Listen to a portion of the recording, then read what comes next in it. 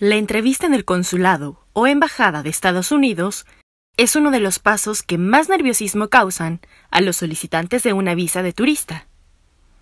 ¿Por qué? Porque es el momento en el que un oficial consular estadounidense decide si se aprueba o rechaza la solicitud. La decisión depende totalmente de él y lo determina con una serie de preguntas.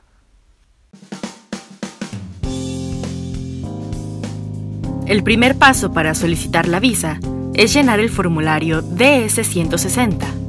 Es el paso más importante del trámite, porque la entrevista del oficial consular se basará en la información que proporciones ahí. Después de crear una cuenta y hacer el pago de la solicitud, debes acudir a que te tomen los datos biométricos en el CAS y después realizarás el trámite de la entrevista de visa en la embajada o en el consulado americano. El día de la entrevista, únicamente necesitarás presentar la confirmación impresa del formulario DS-160 y tu pasaporte mexicano vigente. Sin embargo, es recomendable que también lleves impresa tu confirmación de cita con instrucciones y el comprobante de pago. El oficial consular únicamente te pedirá tu confirmación de formulario DS-160 y el pasaporte al momento de la entrevista.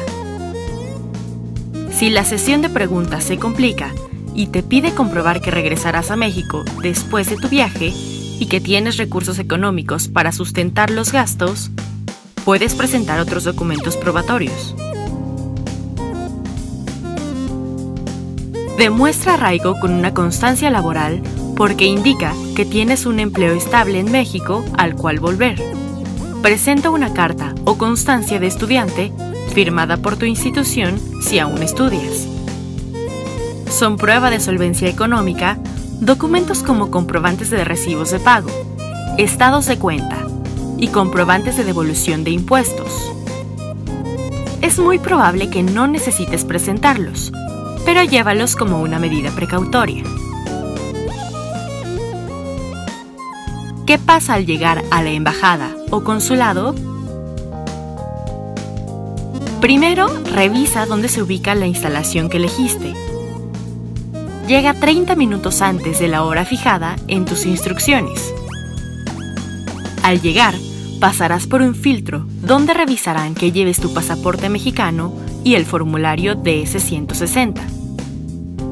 Te indicarán tu lugar en la fila y darán instrucciones no puedes pasar a las instalaciones con celular, audífonos, memorias USB, dispositivos electrónicos, encendedores, alimentos, bebidas y objetos que puedan ser usados como armas.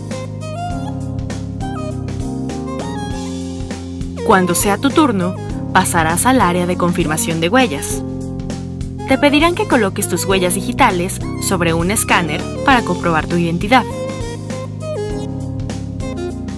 Luego, pasarás por un arco de seguridad para comprobar que no llevas objetos prohibidos. Te pedirán que te quites tu cinturón y abrigo, pero puedes ponértelos una vez pasado este filtro. Llegarás a un área de espera y serás llamado a tu entrevista con los oficiales consulares cuando sea tu turno. La entrevista con el oficial consular es en español Generalmente dura menos de dos minutos, pero depende de cada caso e historial del solicitante.